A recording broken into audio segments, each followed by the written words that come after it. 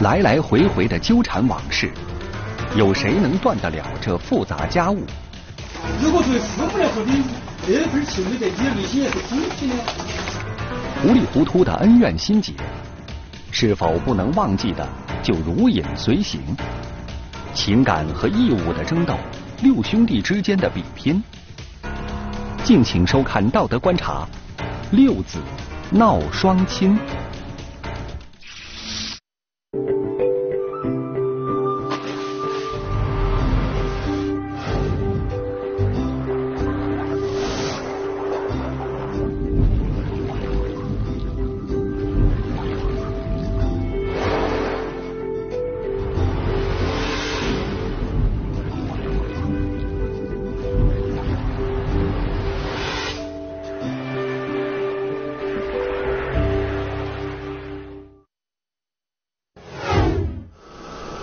二零一五年，在重庆市涪陵区的一个乡村里，来自法院的工作人员正在进行一次现场强制执行。如果作为父母来说，你那份情对待你的内心也是空虚的。但我不晓得你啷个想，正常来说的话，一般人来说，较量的部分。法院要现场强制执行的，涉及到任老汉夫妇和他们的六个儿子。任老汉的儿子们就在不久前集体不交父母的养老钱，使住在养老院的任老汉夫妇面临没有生活来源的困境。在人民法院的主持下，与两位老人达成的是调解协议。调解协议的话是，每个儿子有的是每个月给付二百五十元，有的是给付四百元。昨天的节目我们说到，在重庆涪陵。有一对将近八十岁的老人，把自己的孩子告上法庭了，说他们不尽赡养义务。被控告的可是他们的六个孩子，六个儿子。他们尤其不满的是那老大，哎，其他几个兄弟也都觉得老大他带了个不好的头。可老大呢，自己也觉得委屈，他认为他的父母有很大的问题，他也有话要说。任老汉夫妇的六个儿子当中，最让他们感到不满意的就是老大了。人家老大不仅不接父母到家里生活，法院判决让他承担的生活费用最少，而且他还带头停止了给父母生活费。那么，这个当老大的为什么会如此对待亲生父母呢？他这讲解是讲解是，过路掉泪得很，你给那点儿，像这个这。不托娃儿的时候啷个啷法？他说一天呐做活了都要把他背起啊，当你盘料子也要背起，当粪也要背起，后人的田也要背起。那是他们说的就是气的哈，花口肩头上背上背个人，还那个花口，还要背还迁就，还行的，要背上要背个人。任老汉夫妇伤心，别人也看着不公。人家老大却说，提起对错，自己有一桩更加伤心的事情要责怪父母。不公平！那说实的，我我为啥子那抢的最后你告到法庭去，始终我为啥子不要？你都不你都不理我，我说我说我我都要问他要我的娃那个啊。人家老大愤愤不平的向自己的父母要娃，这是怎么回事呢？他说：“跟父母之间别的事情也就算了，他对父母一直耿耿于怀的是他怨恨父母让他失去了唯一的骨肉。他我坐牢去了，只好他那里你你婆婆营业营该给我把娃儿，把我的把你过你自己的亲生骨肉，你的生了啊，你要该应该接到接受噻。”人家老大说，他年轻的时候有过一个女人，这个女人怀了他的孩子。正当女人要生产的时候，他却因故被抓了。他让父母照顾这个女人，没想到父母却没有收留这个女人。这个女人就带着腹中的孩子离开了。他又没不要我那个孩子，别个好都好我屋头，我就我我要我家里面都把那个孩子背回去，背回去就走。他也他也想走另一家。要想走另一家那个娃，那个孩子有了有那个孩子，别个又，他哪里又娶不到，他只好又在那个孩子就都拿跟别个那那个人贩子了去。人家老大的女人后来生下了一个男孩，可是人家老大在监狱里无法照顾，在没有办法的情况下，他只好将孩子给了别人。不知道给人贩子了。人贩子弄去是最后我转来问到我要孩子噻，我才在最后我才找到，现在在河北省衡水县。等到人家老大刑满释放，他得知女人和孩子没了，就去那儿寻找。我那里去做，做的有十，呃，判的是十二年，判十二年嘛，减了减刑的。减了之后几年出来了？减了三年了。人家老大想方设法，终于打听到了孩子的下落，可是事隔多年，孩子已经无法相认了。人家老大对于这件事实在无法原谅父母，他认为自己的孩子就是他们的孙子，任老汉夫妇竟然不管，才导致自己的骨肉被卖，从此自己再也没有后代了。这个心结，他到什么时候也难解开。我的管自己的孩子，亲生儿子，你婆婆爷爷不要，都想到是那一点，啷个为啥子不要？为啥子我们现在？都是不要你老的，你老的都不要我小的，说我我还要你老的啥子啊？现在人家老大断了给父母的赡养费，紧接着其他的儿子们也纷纷效仿，不再交钱。一时间，任老汉夫妇陷入了没有经济来源的可怜状况。而根据规定，如果他们无法交付给养老院的费用，养老院也没办法继续让他们住下去了。那样日子也不懂，听起来眼睛卡痛啊，也有点那，和那个颈部那些都是胀啊，反正。将来如果你们真的病了，生大病的话，那个医疗费用啷个办呢？那个就没办法的，那就万一那个生大病了，你没钱的都去顶到，还有你没有办法。任老汉夫妇出于不得已，只好再次向政府、向法院求助。重庆市涪陵区法院根据法律程序，将会采取强制执行的办法。而任老汉对此心情极其矛盾，对于结果他也疑虑重重。老大对父母这积怨很深呐，主要就是因为十几年前他进监狱的时候，父母没有收留他的孩子。到现在，他都为这事儿耿耿于怀。可父母毕竟是父母啊，你就这么记仇，就不管父母了吗？难道这老大一直就是这么一个狠心的人吗？在人家的纠纷之中，人家老大的作用十分明显。那么，他是不是真的就是一个非常无情、不顾老人、满怀怨恨的人呢？在他家中，我们发现还有一个小女孩。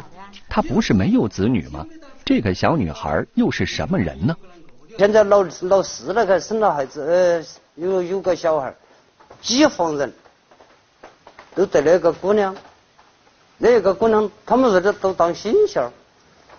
经过了解，我们得知这个小女孩原来是人家老四的女儿小玲，而人家老四多年以前就失去了踪迹，留下这个女孩无人照料。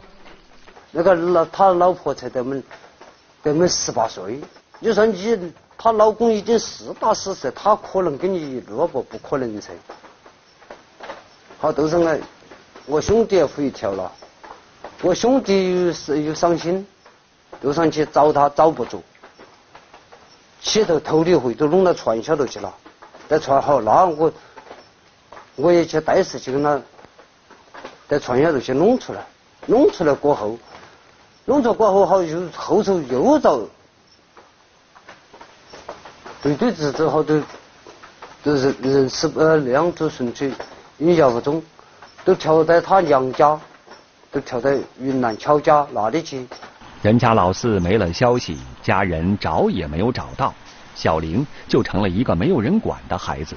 这个孩子该怎么办呢？没得法的，那些也不要，他个人自己自己有孩子，好我只好把老四的，老四也不在。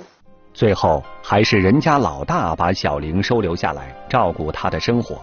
小玲渐渐长大，和伯父的感情也不错。有了这个孩子牵挂，加上父母还在乡里，人家老大这些年基本上没有远离家乡打工。我在家里嘛都本来是我种种那么多老的嘛是我，我说我经经营那么多年了，我说你你们几弟兄嘛是再说那个父母嘛，你应该你们几弟兄去不谈当个嘛就一个一个来经营，经营几个月嘛就要该经营噻，我经有那么多年了，我说我都是我挑我一个人，个子人我又没安个家。照顾小玲对于任家老大来说，并不是件轻松的事儿，因为小玲自小体弱多病，给小玲看病也是一笔不小的开销。他看一回病都是接近百多两百，每一次都上看，至少最最多的超过五百多。人家老大离父母近，加上照顾侄女小玲。他的确比别的兄弟负担要重，这也是当初村委会调解时老大拿钱而不承担接父母照顾的责任的主要原因。矛盾的话，他的儿儿子多了，多了过的话相互之间推诿，再加上当地的经济水平也不是很高，所以家庭呢还是比较困难。另外还有四儿子的外出失联了，他的女儿没有人抚养，说。老大的话，大儿子抚养这个女儿，对他的生活呀也带来一定影响。面对询问，任家老大虽然对父母一肚子怨气，可并没有回避自己作为老大、作为儿子应当承担的责任。你们这农村是不是就应该老大管父母呢？是不是有这个习惯嘛？整个我们周边的是不是老大都要承担责任，承担主要责任？哎，那个肯定是要老大来承承担那个责任噻。你们这边是习惯是这样，都是那个。那么，人家老大为什么在达成协议之后，才刚刚三个月的时间，就停止给老人支付每个月两百五十元的生活费呢？我的确没得发，没得呀，那个人是是按年过过主了，好，所以说你看管理时间，别个为啥子？呃，我的房子建修那个遭火灾了，不是全部啥都没得嘛，是全部是说光完的噻。他们说都都那儿都只有那个猪圈，猪圈那都是十猪圈，跑不进去，就是那就是那点个。原来就在法院调解之后的三个月，任家老大的房子因为意外突然着火，烧光了几乎全部家当，损失惨重。因此他觉得自己暂时经济困难，不拿钱也很正常。火烧把房子烧了的话，烧了一片。他们住的地方的话，就是在这边遮雨的地方，遮雨的地方就没有，那个雨水就会滴在床上。做饭的话也是在露天，就是说遮不到雨的地方，这个锅里面煮饭。比如我们去的话，锅里面煮那个饭的话，看起确实很难受的。任老汉夫妇知道大儿子家里遭受了火灾，也并不是不体谅。然而，老大这一不交钱，其他四个儿子也不交钱，这种比着老大做的情形，让他们无法接受。我觉得那种哎几个兄弟的哈，那种做法嗯有点不大好。哎，应该是说的哈，老大确实困难。哎，当兄弟的应该体谅一下。哎，大家尽自己最大的努力，哎，把老的照顾好。哎，我觉得应该是这样的。重庆市涪陵区法院的工作人员原本要依照法律强制执行，来到村里了解了真实情况后，便先进行了调解，对任家老大及其他的兄弟们进行了普法教育。在他们的眼中，哈，可能调解书并不是，他们可能没有想到调解书会去强制执行，没有想到法院嗯出的一份文书需要，如果他不履行的话，我们会强制他执行，他们是没有想到的。他们觉得这，他们可能在他们眼中还是他们的家事情、家事人。家的五个儿子听了法院的普法教育，终于明白，不尽赡养义务将是一种很严重的行为，法律会保护任老汉的权利不受侵犯。根据相关法律规定的话，如果不履行人民法院生效裁判文书，可以对他财产进行查封、扣押、冻结，进行变卖。对人身的话，可以采取拘留措施。法院的工作人员也根据了解到的现实情况，对任老汉和任家五兄弟进行了非常人性化的调解。争取能够帮助这一家人恢复正常的亲情。要化解他们内心的隔阂，化解他们内心的矛盾，才能够把这个他们的家里家事情解决，而不是仅仅的解决这个案子就能解决的。最终，人家老大和他的兄弟们明白了自己的错误，痛痛快快地交出了赡养父母的费用，并且表示今后也一定会承担起应尽的责任。那个嘛，老大那个嘛是啊，就是那三大的三年三三年工期的嘛，三年工期的，他拿拿拿过来，拿了好多啊？拿了一千块钱嘛。拿了千块钱嘛？啊他其他的他说哪拿嘛？啊，他他拿了拿了一千块钱嘛，他一个月二百五个嘛。哦，都拿了四个月了已经哈。啊，哦，那是不错了噻哈。老大和老二媳妇还代表所有兄弟们到敬老院看望父母，一家人终于冰释前嫌。